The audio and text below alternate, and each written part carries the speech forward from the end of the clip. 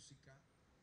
La segunda jornada por la paz contra el terrorismo y el bloqueo dedicó espacios a la infancia. La propuesta cultural se realizó en la sede del Instituto Cubano de Amistad con los Pueblos y estuvo protagonizada por creadores de la vanguardia artística.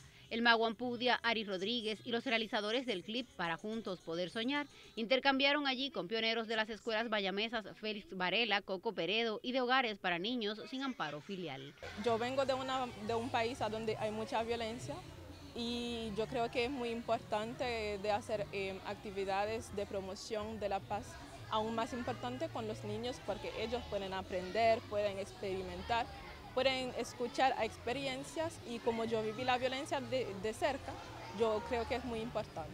Los que amamos la paz debemos hacer este tipo de, actividades no solamente en una jornada, sino todo el año, estar provocando, estar eh, socializando que se acabe el bloqueo, que se acabe el terrorismo, que se pierda toda esa situación de tirantez entre los países y que haya más solidaridad entre los pueblos para que el mundo pueda ser mejor.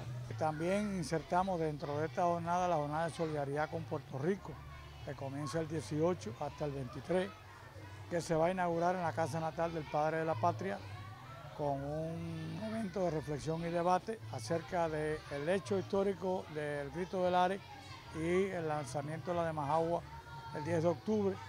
Luego el día 20 estaremos en el Centro Cultural Armando Jardávalo eh, reconociendo la figura de Juan Río Rivera, de Lola Rodríguez de Tío y de Albizu Campos. En Granma, la Jornada por la Paz contra el Terrorismo y el Bloqueo cuenta con un amplio programa de actividades que llegará a diversos sectores de la población.